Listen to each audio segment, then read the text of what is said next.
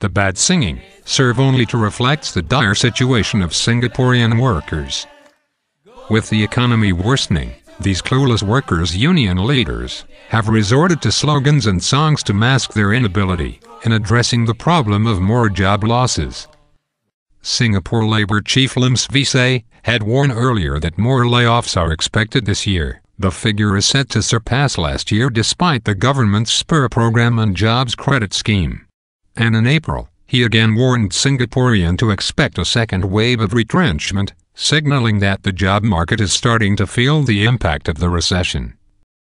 With more massive layoffs expected, many are beginning to question the effectiveness of the jobs credit scheme. One of the doubters is opposition MP Low Thia Khiang, who had raised this concern in Parliament. However, the government dismisses it and carry on trumpeting the success of the job credit scheme, even though many said it was too premature to gauge its effectiveness. Another skeptic is nominated MP Siew Kum Hong. In an interview with an U.S. online newsletter, he said that it is not possible to conclude whether the job credit scheme do save Singaporean jobs or not. He added, while feedback from employers has been uniformly positive, I would nevertheless take that with some salt since they have a very strong self-interest in seeing the scheme continue, since it is essentially free money for them.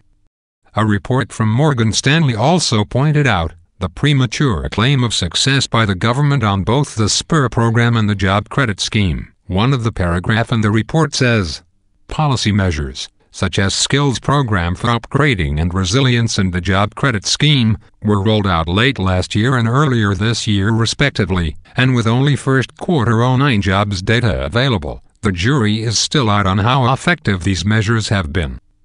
In trying to show that they are hard at work, the union chief proudly announces that NTUC had raised $23 million for its U-Care fund to help needy union members. He also said that this U-Care fund will help 194,000 union members, an increase of 82,000 from last year. However, in one of the popular social political website, The Online Citizen, Leong Sze Hian, a well-known qualified finance professional, raised some interesting questions and comments.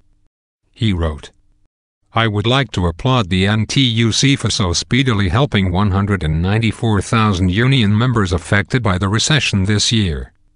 However, as NTUC has about 500,000 members, this means that two out of five members are affected by the recession and need assistance.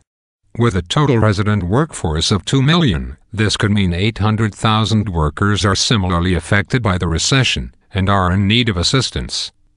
Out of the $23.3 million set aside to help the needy, $7.6 million will be used for family bonding initiatives, as well as to help the elderly. This means that only $15.7 million is used to help the 194,000 members who need help. This works out to an average of about $80 per year per member, or $6.66 per month per member. Indeed, it seems this is not very much once the numbers are broken down.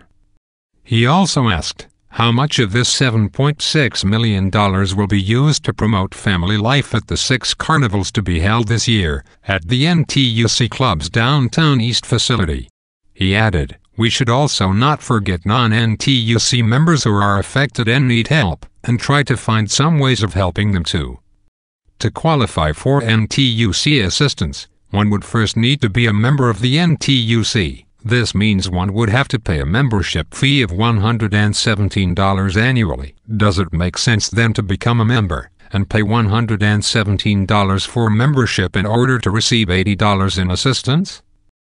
For now, Singaporean workers cannot expect too much from the country's union body. What they need are concrete measures to save their jobs or find employment for the jobless. What they don't need are more useless slogans, songs and dancing from the union leaders.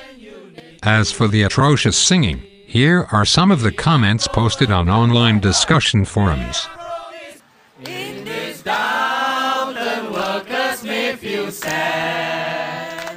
When it's upturn, we will all be glad.